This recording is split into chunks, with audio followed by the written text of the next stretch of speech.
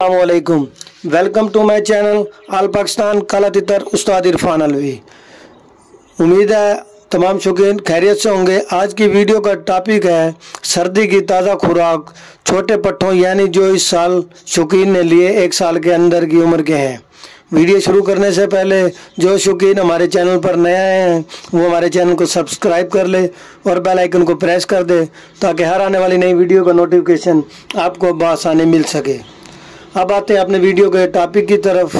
शौकीन दोस्तों, सर्दी की यह खुराक उन पट्ठों के लिए जो शौकीन ने इस साल लिए, यानी जिनकी उम्र एक साल के अंदर है ये हमारी आजमाई हुई पट्ठों की अच्छी खुराक है, जो आप अपने तितर पट्ठों को दें इन बुलाई मौसम में ये पट्टे अच्छी सेहत, मस्ती करेंगे और अच्छी मेहनत रही तो अच्छी बुलाई भी करेंगे।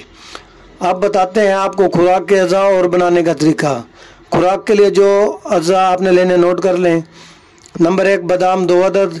नंबर दो, चार मग्ज चार दाने।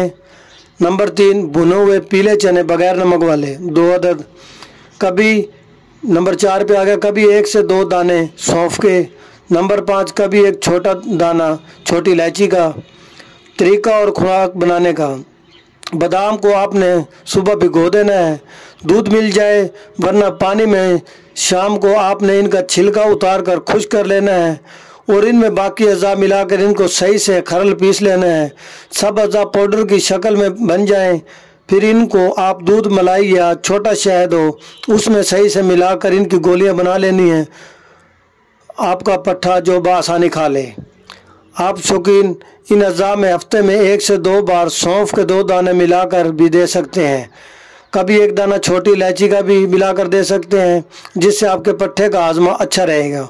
शौकीन दोस्तों, आपने ये खुराक अपने पट्ठों को सर्दी में देनी है।